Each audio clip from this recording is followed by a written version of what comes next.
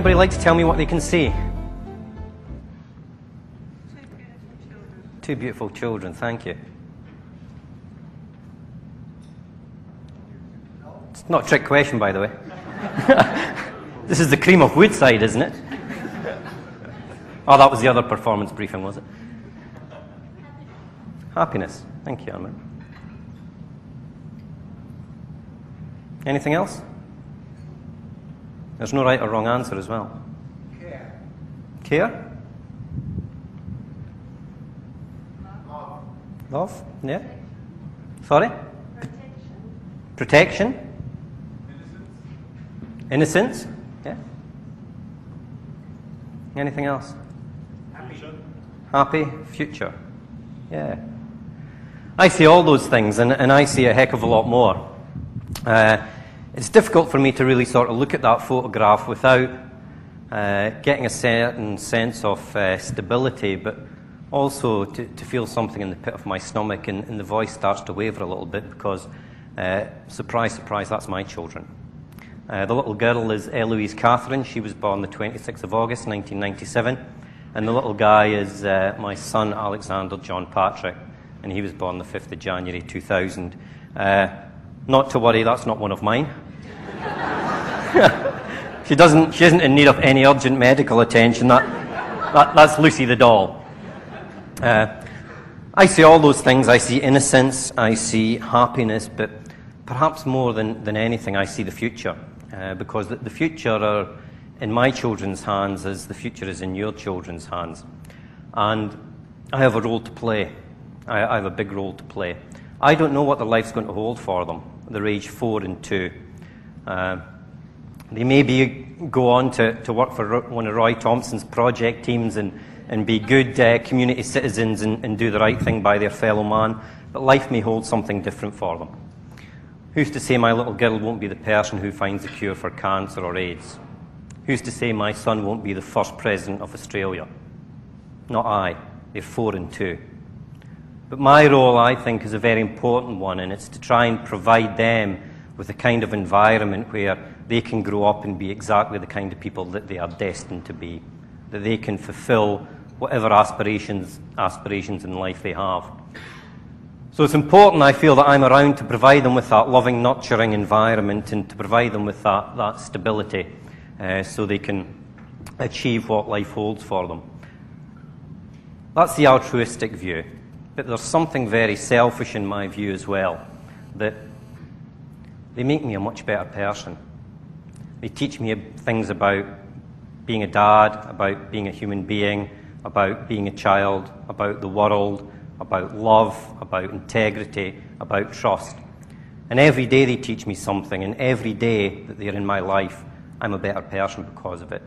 They enrich the quality of my life, and I'm growing every day that they're with me. And I want to be around for that reason, because they complete me, they make me better. And I know that uh, through my parenthood and my association with them, I'm going to develop as a person. Thanks, Rod.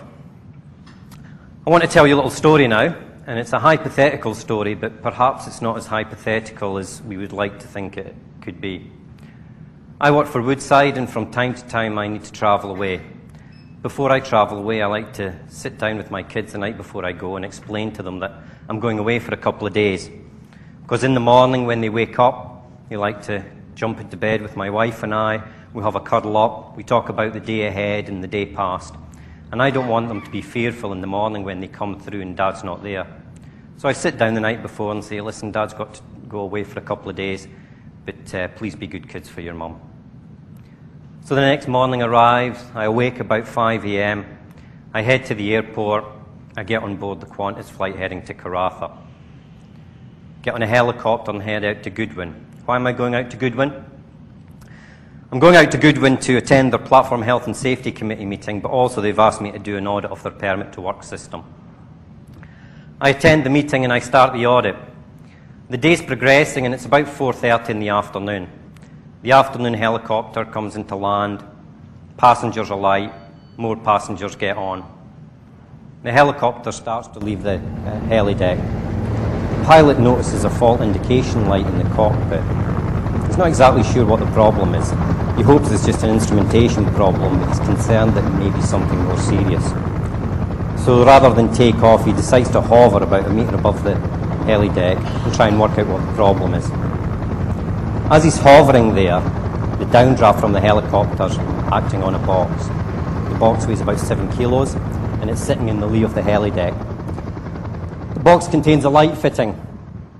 It's there because the following day it's going to be fitted to the heli deck structure and it's been located there until it's uh, time to, to fit the box. About the same time, I need to go and check one last permit as part of the audit I'm doing. I start to leave the accommodation module. As I start to leave the accommodation module, the downdraft from the helicopter picks up the box, throws it over the handrail, and it drops 30 metres. Hits me on the head. It fractures my skull, breaks my neck. I'm killed instantly. As is required, the platform emergency response team is mobilised, and because there's been a fatality, the WA police service are notified. It's about 6.30 in the evening. My kids, they've had their dinner, they've had their bath, they're in their pyjamas, and the front door bell goes. They're excited. Maybe dad's come home early. Maybe your friends come around to play. So they rush down to the front door, but it's not Dad. It's not a friend. It's a female police officer on the Woodside peer supporter. My wife Trish walks down the hallway. She sees the uniform. Her mind starts to race. Wonder what's happened. Perhaps there's been a car accident in the street. Perhaps one of the neighbours has been broken into. She greets the visitors and they go into the lounge room. The police officer starts talking. Mrs. Sim is concerning your husband Alan. I've got some bad news. It's the very, very worst news. What's the very, very worst news you can give somebody? The tears start to flow. The police officer continues. I'm sorry to inform you your husband Alan was killed in an accident offshore two hours ago.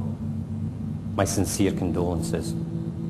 Tears, uncontrollable tears that feeling of sick in the pit of your stomach that wasn't there a minute ago, but it's there now. Those young, happy faces, they're no longer happy. What are they thinking? They're confused. Who are these people? Who are these strangers sitting in my lounge room? Why are they making my mummy so upset? I want my daddy. They start to scream, I want my daddy. Because in the middle of the night, when they had a nightmare and woke up, I was there for them. I went in, I picked them up. I scared the monsters away.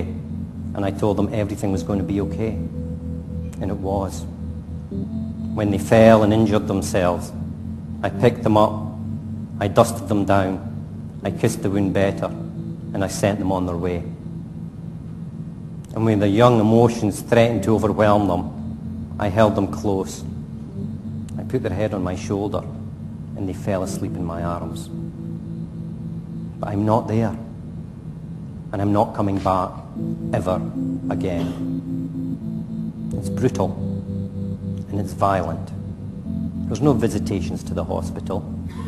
There's no sitting down with the children, talking to them, getting them to come to terms with the fact that one day Daddy's going to go to heaven to be with Granny and Grandad. I'm just not coming back ever again. And what do I miss out on? First day at school, first day at senior school, first boyfriend, first girlfriend, first wild love affair, first hangover, first time you smoke a joint, first day at university, graduation, first day in the workforce, marriage, grandchildren. I miss out on everything, everything. And why? The bereaved, the grieving, they always need to know why. They need answers. They need to get to closure. Because somebody thought it would be okay. Somebody thought that box would be okay. Tell my fatherless children. Tell the parents who grieve for a lost son. Tell the wife that's had to bury a husband.